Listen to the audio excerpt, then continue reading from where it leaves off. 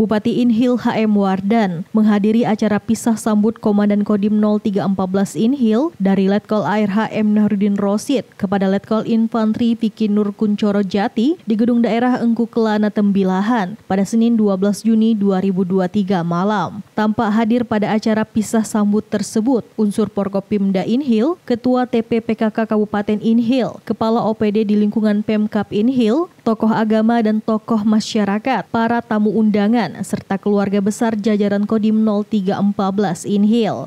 Dalam sambutannya, Bupati Inhil HM Wardan sampaikan ucapan terima kasih terhadap pengabdian Letkol Air HM Nahrudin Rosid selama bertugas di Kabupaten Inhil. Pada kesempatan yang sama, Bupati Inhil juga sampaikan ucapan selamat datang kepada Letkol Infantri Piki Nur Kuncoro Jati dan berharap dapat membentuk sinergi serta bekerja sama dengan pemerintah dan masyarakat Kabupaten Inhil, khususnya dalam hal pembangunan.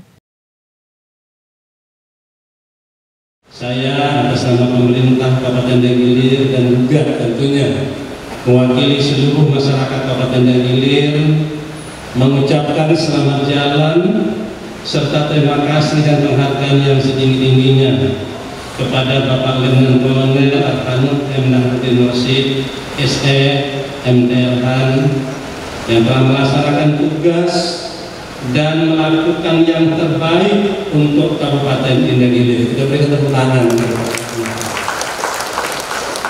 Sebagai Komandan Kodim, 0314 Inhil yang kini akan pindah tugas. Sebagaimana tadi disampaikan yaitu sebagai kepala staf resimen Arhanut 1 Palatehan Kodam Jayakarta. Tentunya selama Anaruddin bertugas di Kabupaten Gilir tentunya banyak sekali kenangan yang telah kita lalui bersama Tadi juga sudah ada penyampaian dari tokoh masyarakat, juga penyampaian dari PK dan lain-lain sebagainya. Tentunya selama berada di Kabupaten Gilir banyak hal yang berkesan dan tentunya itu menambah ya pengalaman, wawasan dan tentunya kita doakan semoga Bapak Nahrudin Rosid mendapat ya tugas di tempat yang baru akan lebih sukses lagi dibandingkan dan tentunya tidak lama tidak lama lagi ya di pindahnya itu sudah akan bertambah ya. Sudah akan menjadi mudah-mudahan dalam beberapa bulan akan jadi kolonel ya. Amin ya alamin. Maka melalui kesempatan ini saya juga ingin menyampaikan ucapan selamat bertugas kepada Bapak Letnan Kolonel Infanteri Piki Nur Kuncoro Jati Santan sebagai Komandan Kodim 0314 Indir yang baru. Dengan harapan semoga bisa bersinergi dan bekerja sama dengan pemerintah dan masyarakat Kabupaten Hilir khususnya dalam pembangunan. Semoga Allah Subhanahu wa taala Tuhan yang Maha Kuasa senantiasa memberikan petunjuk dan pertolongannya kepada kita semua sehingga dapat menjalankan tugas dan tanggung jawab jabatan yang telah diamanahkan dengan sebaik-baiknya.